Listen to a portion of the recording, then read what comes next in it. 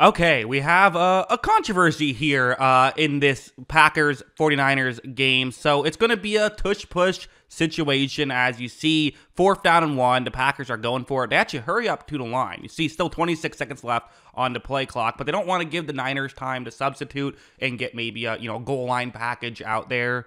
But perhaps that was a mistake, as the Packers don't seem to get a great push. I mean, the guys who were, I'm going to show it a couple times, watch the guys who were supposed to push. You know, Love kind of went too quickly. They aren't able to over, get over there and actually get that push aspect to make it make things work. Uh, so because of that, it's initially ruled short. As you see, they measure, they rule it that it was short. The 49ers get the uh, ball. So, okay, 49ers are happy and all that. But if you look, go to the other angle, this is going to be maybe more of a gray area you're going to see Jordan Love. He takes the snap, he moves over, and again, does he get the first down marker? Uh, that's where his head is. His head is past the first down marker for sure. Not a lot past, but it is uh, currently, you know, where we paused it, past it. But where is the ball here? Is the ball aligned with the head? Well, maybe. I don't really know. I can't really tell from this angle.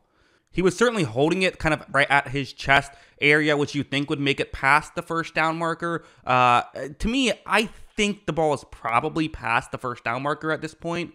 But I certainly can't say for certain, right? If you're reviewing this, is it past it or not?